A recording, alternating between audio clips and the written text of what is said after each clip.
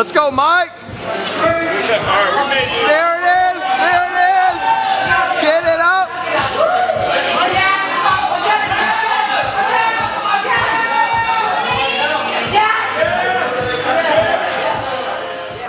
Get busy dying. I don't care which one it is.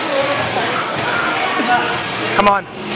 Look, it's not even a, it's not even a question. Give it the blue. Some of that.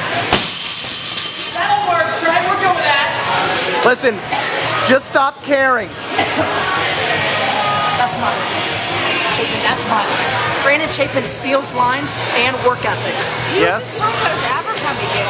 Oh, Son of, this is this is filming. All right, go ahead and kill that. Dude. Listen, now I'm now I'm instant instant douchebag. can we get a CrossFit Games prediction? Yeah, yeah, absolutely. Right what here. do you want to know? Uh,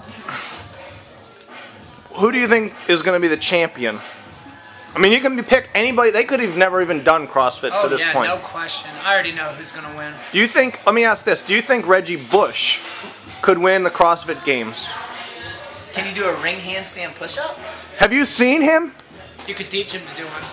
Yeah, I think he could probably win it. Oh hell, there you go again. That that is provided that You don't win it. You don't. he wanted to do it. I'll say this. Doesn't pay enough. This is what I'll say.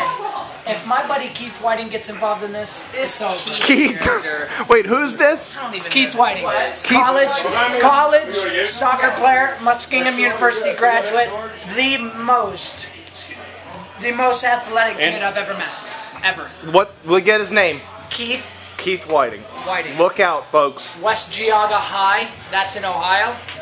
And he called me last week and was like, dude, I saw some pictures on fa- Facebook. What are you doing? And I was like, it's called CrossFit. And He's like, yeah, I've heard of it. They got it down here in Florida. I'm thinking about trying it. And I'm like, Keith, do it. You'll be a maniac.